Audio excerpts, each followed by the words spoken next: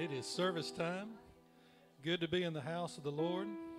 When I wake up on days and look outside and see the sunshine, you know, scripture comes to my mind. This is the day that the Lord hath made. Let us rejoice and be glad in it. Now, me, you can ask my wife. In the mornings, I'm not too rejoiceful. She speaks and I grunt. That's about it. But you know, when I come to the house of the Lord, I, I've got to put that aside. I've got to make sure, even on Sunday morning, that I don't come in and grunt at everybody. That I can smile, I can speak, and I can be friendly. The same thing I say that is this is this is God's church. We got to sometimes make ourselves worship. We got to sometimes make ourselves attentive to the voice of the Lord. It's not always what I want to do, but I know it's for the best. I know it is. So let's let's invite God's presence as we begin this service today. Dear Heavenly Father, God, we love you and we thank you for all your blessings in our life. God, we thank you that you put your sunshine on this earth to warm us. God, to give us hope for tomorrow, to brighten our day. God, walk through this place today, God. We ask that you anoint every one of us and let us feel that warmth of your love in our lives. And God, we're going to worship you and give you the praise in all that we do.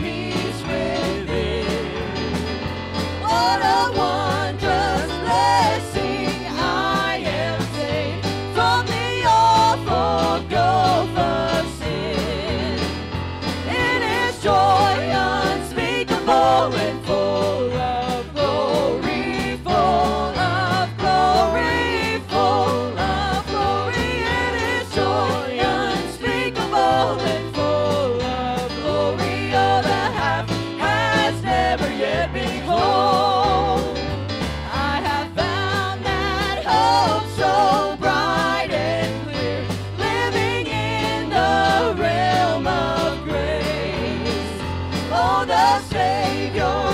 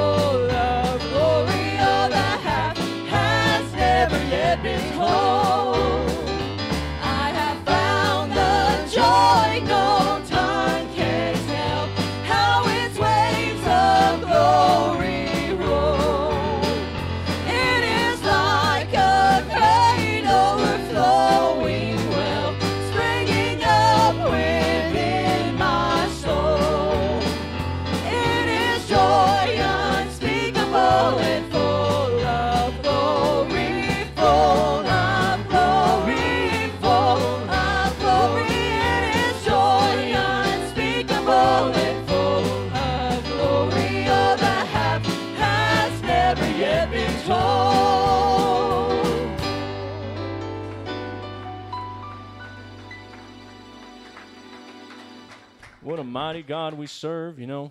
That song says the joy unspeakable, full of glory. You know, sometimes we just sing it, but you know, I'm glad that on mornings when I don't want to be up, there's just a joy that I have. And it's not mine, it's, it's the Lord's. I'm glad He's put that joy within us. So we're going to be dismissed to Sunday school this morning. It's good to see a bunch of people going to be in Sunday school, and we're hoping to see more come in. And y'all are, as I say many times, and I know oh, she's going to get on to me if I say it. so I won't say y'all are stuck with me this morning. but I'm going to try my best to to teach a little bit on something that you've probably heard many times throughout your life and I just kind of want to take it and kind of decipher it and kind of just run down and get some little things going. So we're going to talk this morning about the Lord is our shepherd.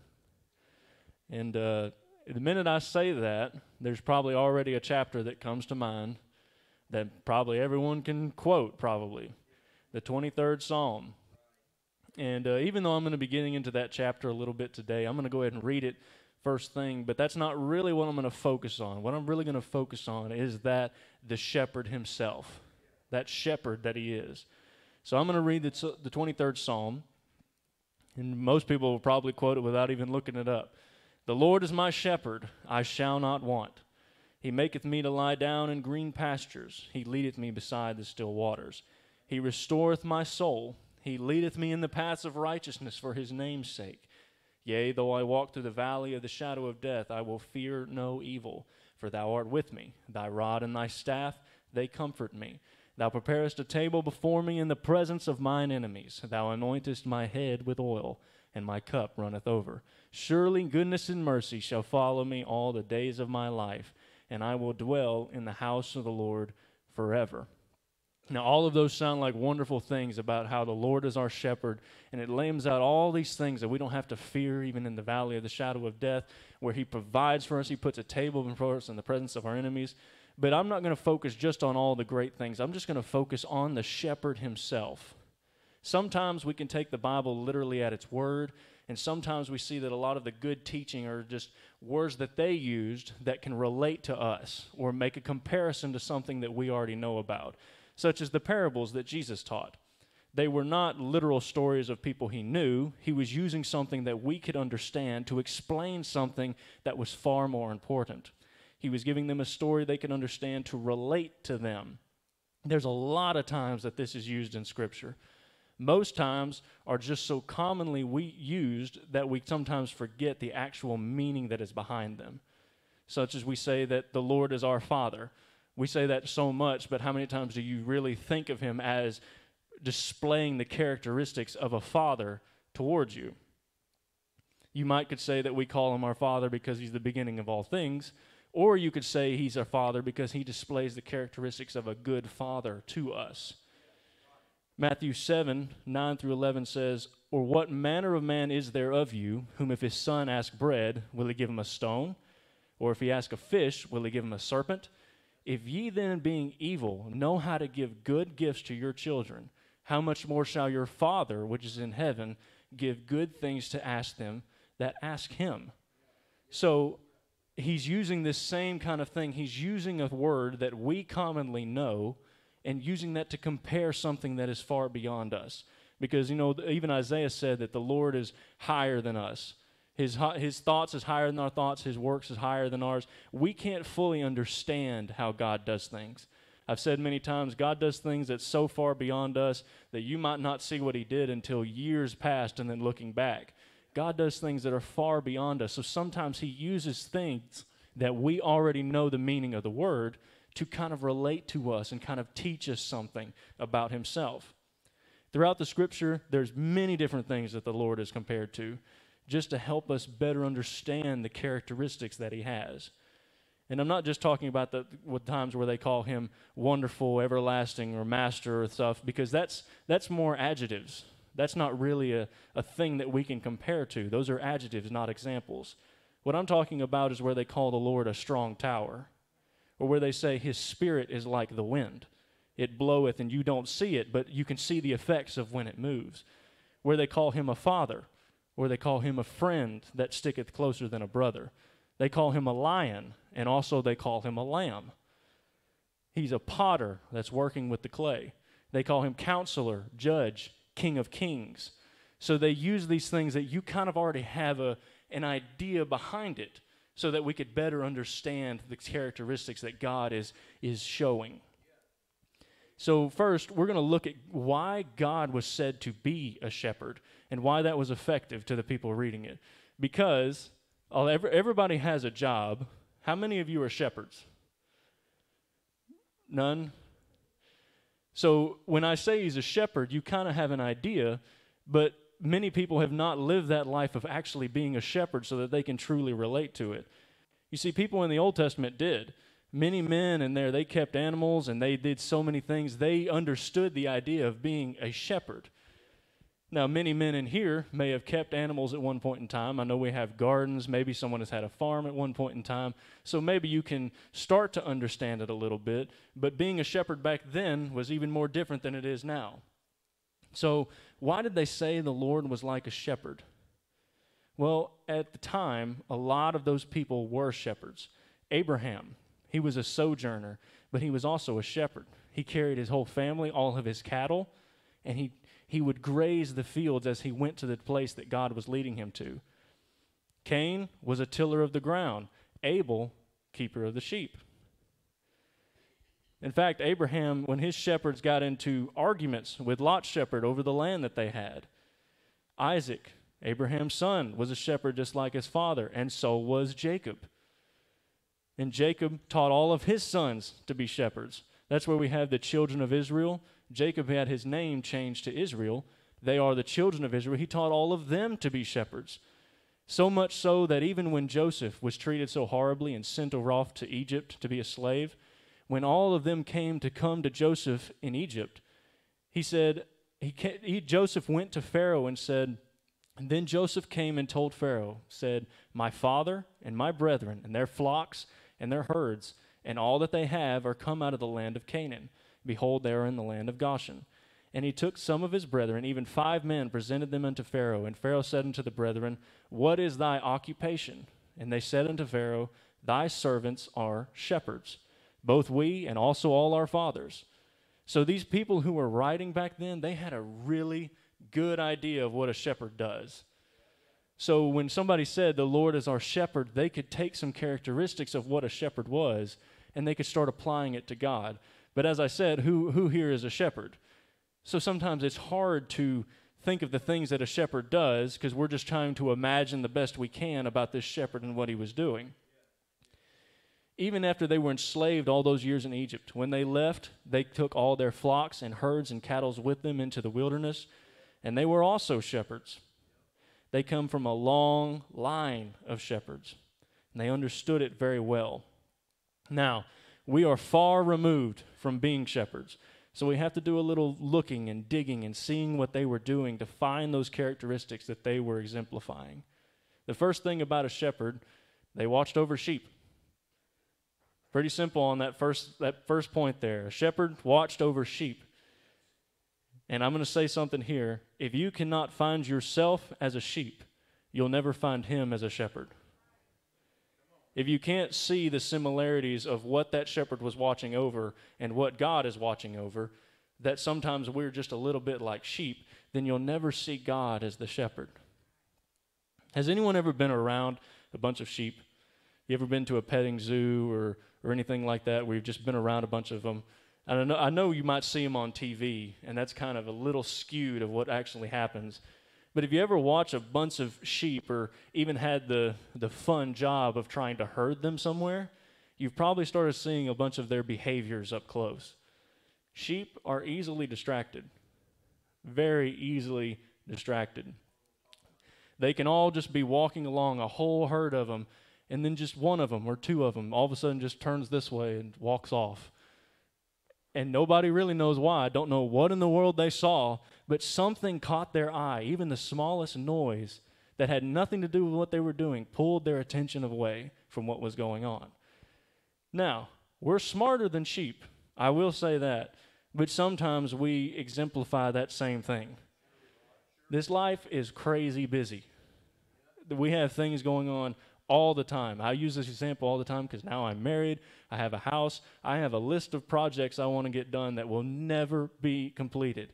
Every time I look at that list, I just have to close the book. I, I can't, I can't, I can't work on all this at once. Life gets crazy busy. And so it's so easy to keep, to, to, it's so easy to lose sight of those things that should be high priority in our life. It's so easy to get distracted.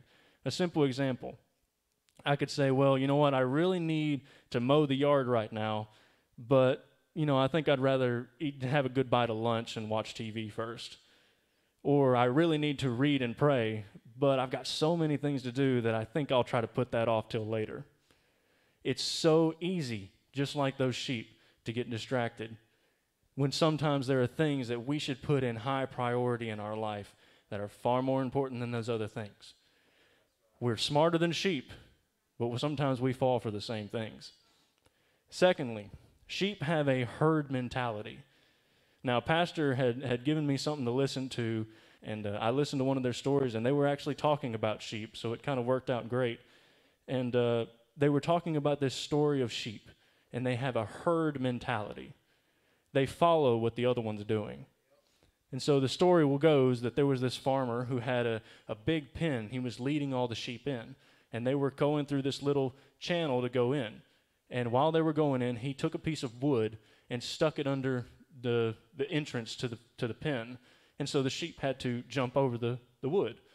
And so the couple of them jumped, and after about uh, maybe about a minute or so, he pulled the plank out, and they just kept right on jumping because they saw the one in front of them jump. So they thought, I have to jump.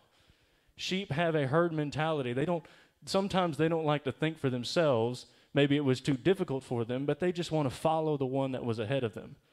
Once again, we're smarter than sheep, but we have peer pressure. And sometimes, even worse, sometimes the peer pressure that you feel is not even being given from other people, it's just coming from here. So, even though we're smarter than sheep, we still have that same problem sometimes of having a herd mentality. It's easy to follow somebody else else's blazing the trail. And if somebody's blazing the trail the wrong way, it's very hard to pull away because then you're going to be going against the grain. You know, we just talked about how all the sheep can be walking along in a line. One of them will veer off the path. It is guaranteed a few more are going to follow that random sheep that's going nowhere. It's very easy to see that also happening in churches. One can walk away and don't know why, but a whole bunch of them follow them. Or maybe one of your friends is just going the wrong way, it's so much easier to just follow them than to stand up and say, I'm not going to do that. So it's it, we have that same mentality in us. And that's what I'm saying. If you can't see yourself as a sheep, you'll never understand him being the shepherd. So those are just a little things about the sheep. The Bible talks about how we all have sheep have gone astray. But we have a shepherd.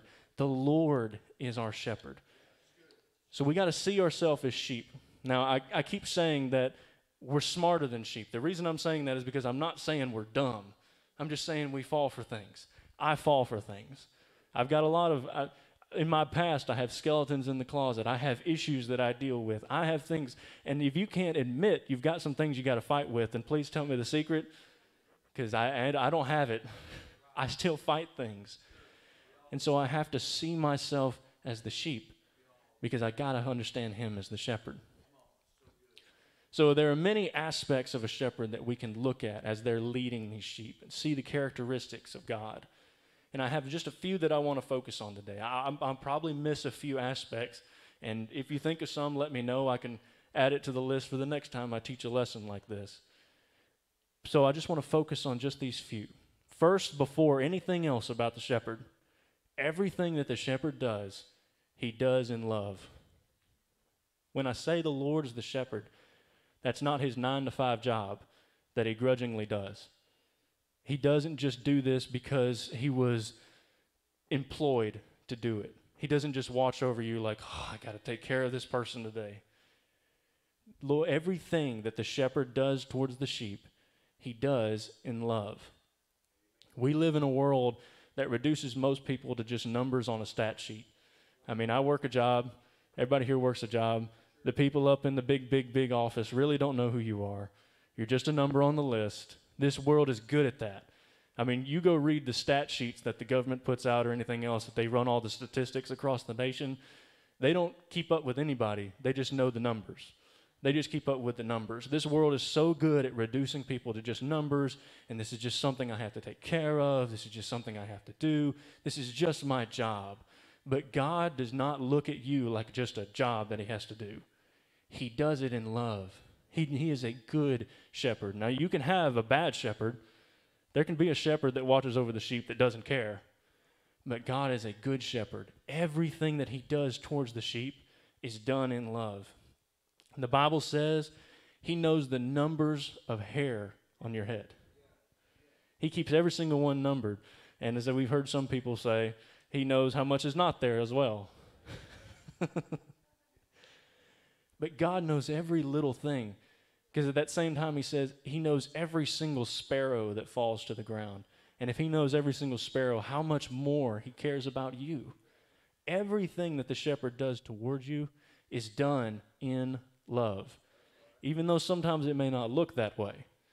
Sometimes the shepherd had to be a little rough with the sheep. Sometimes the shepherd had to correct it and maybe give a good kick to get it going the right direction. But he did everything in love. And he knows exactly what's going on in your life. The shepherd, if we try to relate it today, if you watch a big bunch of sheep, you can't tell what they're thinking. And sometimes you may be like, what in the world are these sheep thinking? But God's not that way. God knows everything. He's not just a nine to five job. He cares about you. He knows what you're thinking. He knows what you're dealing with. He knows what you're struggling with. And everything He does towards you, even though it may not look like it, is done in love. Just like a good parent with their kid. There are times that you're having fun, there's playtime, and you're having a great time with them. And then there are times where they're not so good. And sometimes you have to get a little stern with them. Sometimes you have to make them cry. Sometimes you have to put a little tension in the house of a little anger. But everything that we do should be done in love, just the same way that God does towards us. Even though sometimes He's like, Why? Why'd you do that? He still comes back with love and says, I'll forgive you and I'll show you the right way to do it. He is a good father and a good shepherd. The, the difference is, even though, and I use this other example, I don't have kids yet, and I'm probably going to try to wait on that, but I am married. There are times where you're just having a great day, and there are times where you frustrate each other. There are, there are good days and there are bad days, but it doesn't matter what the feeling is. Everything we do should be done in love. The difference is, I'm fallible. Even though I'd like to say I do everything in love, I'm fallible. Sometimes I don't do everything perfect. God is infallible. When He does everything in love, He doesn't slip up. Everything He does is done in love. And now I'm starting to get to this real part of the lesson, this, this, this shepherd. And I'm going to go through these, these characteristics of this shepherd that I have found. And every single time that I started to label out a characteristic, I found that there was like two, two versions of it. And I found out that this is kind of the way God is in a lot of situations. God is multifaceted. And it's, it's, it's really hard for us to understand him sometimes because he is that way. Because God is love. God is complete love. But God is also a just judge. God is also the one who can snap his fingers and lightning come out of heaven, even though he's full of love. So God is multifaceted, and it sometimes it's hard for us to understand. So when I started to see these characteristics, they kind of had two sides to it. And so I'm going to I'm going to go in groups of two of these characteristics of the shepherd. So first, all things are done in love. The second characteristic, he leads and guides the sheep. So I, I put those out two separately. He leads and he guides. So this leads, what, what do I mean when I say he leads the sheep? There are times where the shepherd would go out in front of the sheep and trust that those sheep were behind him and he would lead the way. There are times he couldn't stand in the back and hope that that sheep right up at the front is going to choose the right path. There are times he has to step in front of the sheep and lead them properly where they're supposed to go. Maybe if the ground was a little rocky, but he would lead them. Paul said, Follow me as I follow Christ. He was showing this moment God is leading. I'm not just making this up on my own, God is leading. When God leads in our lives, He's blazing the trail. He's making the decisions, not us. There are times where God leads us. He's making the path exactly what it should be. Now, sheep have that herd mentality. And if they follow, if they start following that shepherd, then all of them will start following the shepherd. He could lead them exactly where he needed them to be. We must be led by God. Not just trying to make this on our own, not trying to make it up. God is the shepherd. He will lead us. There are times where, you know, even Job talked about I look forward, I can't see him, I can't see him behind me. On the left hand, he doth work. So God is doing something. So sometimes he's not always out in front. But there are times where God will step out in front and lead us. We must be led by the Spirit of God. That is a requirement. We must be led by God. Now I said there was two parts of that. There's leads and then he guides. Guiding is slightly different than leading. Now a lot of you have had children, and when you have a child, you grab them by the hand sometimes and you walk and they kind of follow behind. But a lot of times when they're learning to walk, you're standing behind them and holding them up. They're choosing the path, but you're just kind of gently guiding them along the way. Sometimes God is that way. Sometimes we don't see the answer. Sometimes God doesn't tell us, but He's still right behind us, gently giving a little nudge, little this way, a little this way. So sometimes He steps out in front and He leads the sheep. And other times He's behind, just kind of guiding them because they're going a good way, but He just wants to guide them, give a little direction. And that's the way God is towards us. I can look back over my life, and I've used this as an example. You can never convince me God's not real. Not because of what I see right now, but because of my past. I look back over my life, and there's no way I would have made those decisions by myself. There's no way I'd be here if it was all up to me.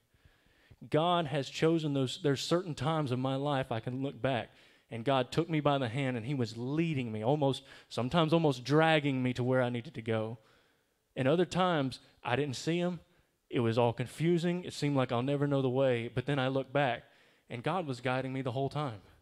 He was saying a little, little this way, a little bit this way. There are every single time, God is interested in you. The shepherd is always watching you. Sometimes he's leading, sometimes he's just behind you, guiding a little bit. So, those are the characteristics of a shepherd. Second, third, he gives us grace but he also gives us correction. Jesus told the story of the 99 sheep, and one had left the herd. The shepherd said he would leave the 99 to go find the one that was lost. And then he said that there is more joy in heaven when one sinner repents than 99 just men who need no repentance. God is in the business of giving grace. He always has been from the very beginning of time when they completely broke the trust of God, He gave grace. He gave mercy. That, that, that, is a, that is a perfect characteristic of God. He forgives the sheep. Even when they make a mistake, He forgives the sheep. Now, there are times He has to correct the sheep, but there are times where a sheep has gone astray.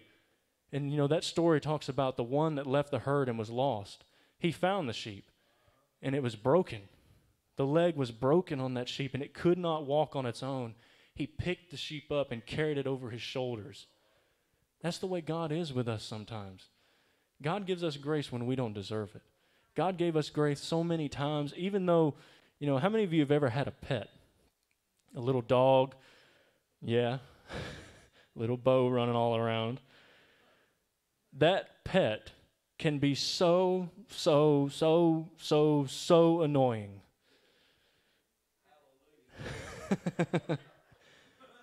but to everyone who's had a pet, if it disappeared or died, you'd be a little heartbroken. It. We'll, we'll pray. We'll pray for that one.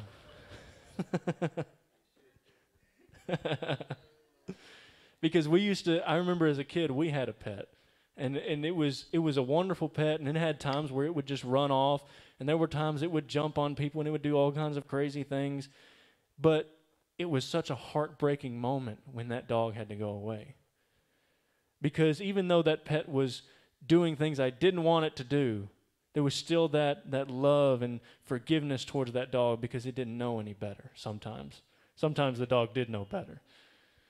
And that's the way God is towards us. Sometimes the things we do, I can only just imagine God being like, oh, what are you doing? Sometimes I can just imagine him just covering his eyes. I, I don't want to see this. I know what's going to happen. And he knows that you should do better. But he just knows, I'm going to keep giving grace to this. Because that love that he has for us, it doesn't break at any point in time. And if you think, if you doubt that even the least little bit, you can find so many examples in Scripture. King David put his life on the line to save his sheep from a lion and a bear. Now, we talk about how God gave him strength and all the wonderful things that God did for him in that moment. But just think about David. He saw a lion attacking a sheep and was like, I'm going to run out there to it. What are you thinking, David? If I see a lion or a bear attacking something, even though I want to save that thing, I realize I can't take that.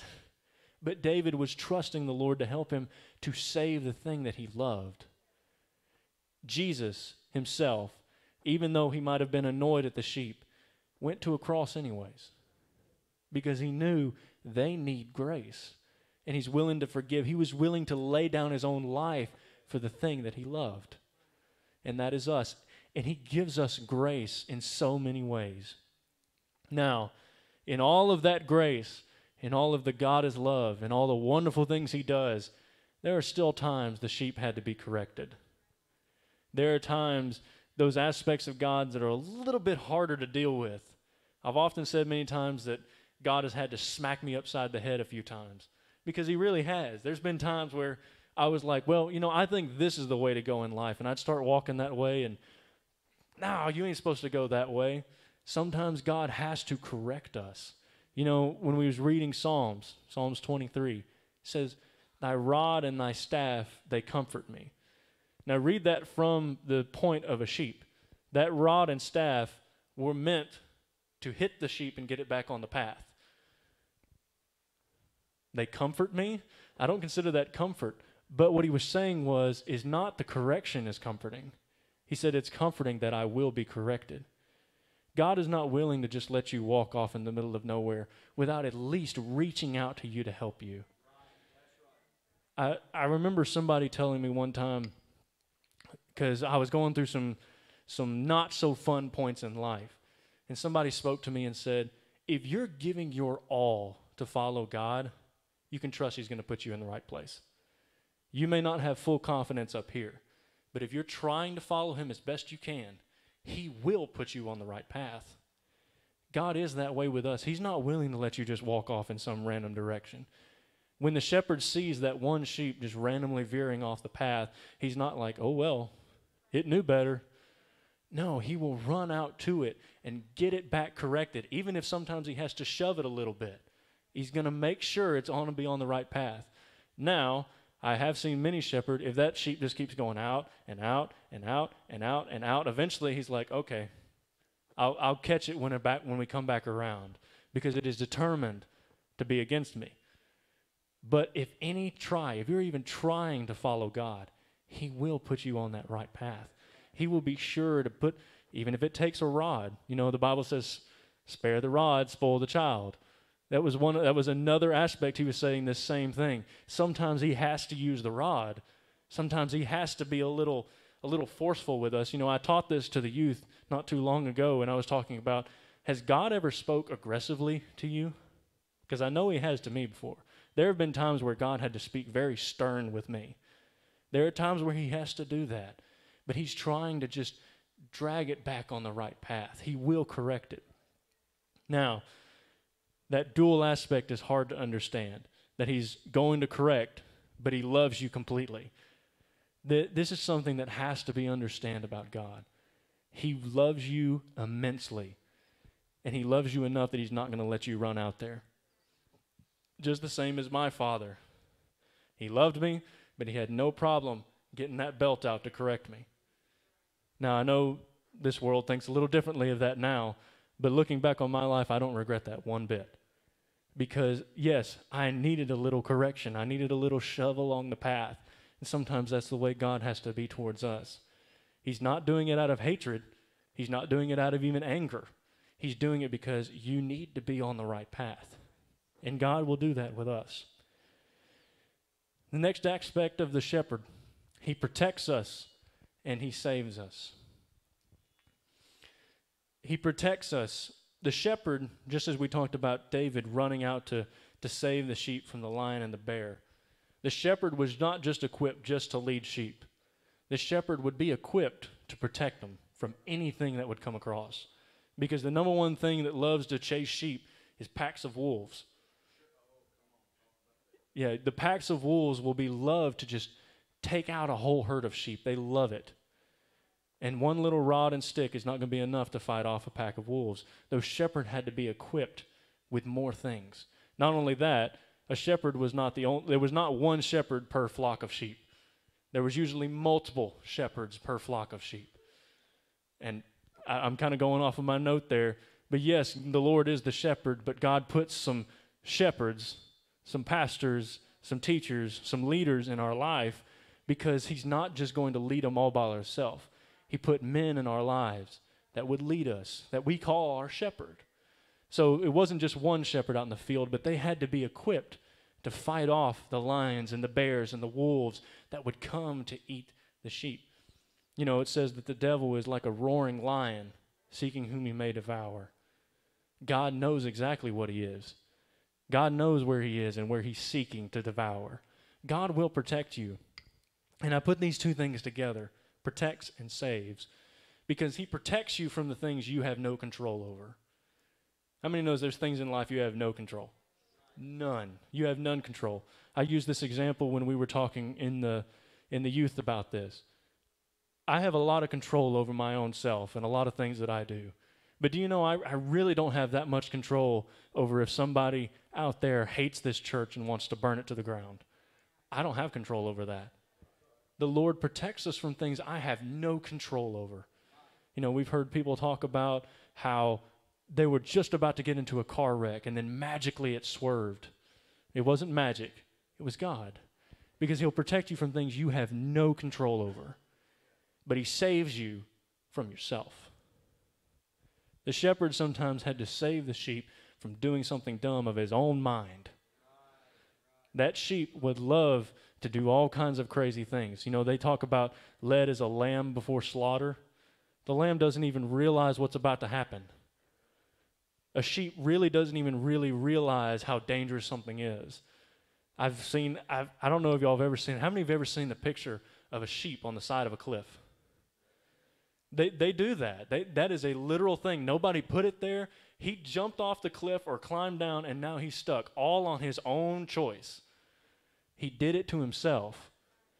So God will not only protect you from things you have no control over, He wants to save you from the things that are going on up here. Because up here is where some big battles have to happen. Up here is where it decides if you're going to be saved or not. You know, Paul said, I, I found that neither death nor life nor anything, principalities, powers, nothing can pull us from the love of Christ. Nothing can do that. There is no person who can force you to be saved or lost. Nobody. Even, even the preacher who would love so much for you to be saved, he can't force you to be saved. And nobody out there can force you to be lost. That's all right here. So he'll protect you from things you can't control but He wants to save you from things that are all in your control. He wants to save you from yourself. And then the last thing I want to go over it is only through the shepherd that the sheep have unity. If it was not for the shepherd, the sheep, they have a herd mentality. They would somewhat stick together, but just like I said, one randomly gets distracted and pulls off this way and sheep will follow. And then another one gets distracted and goes off this way, and sheep will follow. Without the shepherd, the sheep would always have division. Always have division. Because we're smarter than sheep, but I would say that we might even be more stubborn. We are. We, we, we get something stuck in our head, and it's hard. It is hard, hard, hard to get something that we're determined of out of our head and try to do something else. It's only because of the shepherd that we have unity. Because I could think that this is the right way, and you could think that that is the right way. But only because we have a shepherd can he say, No, no, this, this is the right way. You can read it however you like. This is the right way. That's how God is towards us. It is only because of the shepherd we have unity. With no shepherd, you'll never have it. The people out in the world where they get a lot of unity, they get a lot of people together, they've made their own worldly shepherd. They're mimicking what God is doing towards us. They're trying their best to make it like God, but that nothing is like God. And it's because of Him that we have unity. There's a, a scripture, and I, I don't have it written down, it just came to me now, where Paul talked about being in the mind of Christ. That's the only way that we can all think the same. When they were in the upper room, all in one mind, one accord, there's only one way that happens. Because even across this little body right here, who all is thinking the exact same thing? Nobody. I, I, would, I would wager nobody. Perhaps the married couples that have been married for a long time think a lot more similar, but even then, y'all don't think the same. So, even though that may have been a figure of speech to say one mind and one accord, it's a lot easier to understand if we say we're all in one mind, his mind. If I'm focused on what he's focused on, and you're focused on what he's focused on, and you're focused on what he's focused on, then we're all focused on the same thing. It's only because we have a shepherd that we have unity. If not, we'll just go all over the place. And they gave a perfect example in Scripture the body of Christ. The body of Christ is useless without the head. Think about your body, because this was the example he was using. Your body. If your brain has a problem, then everything else will always struggle to work.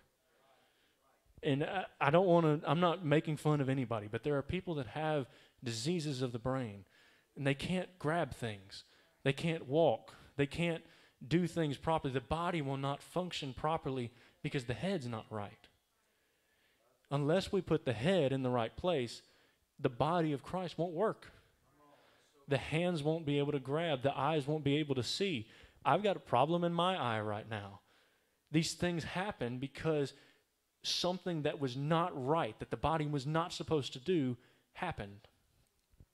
Without the shepherd, we have no unity.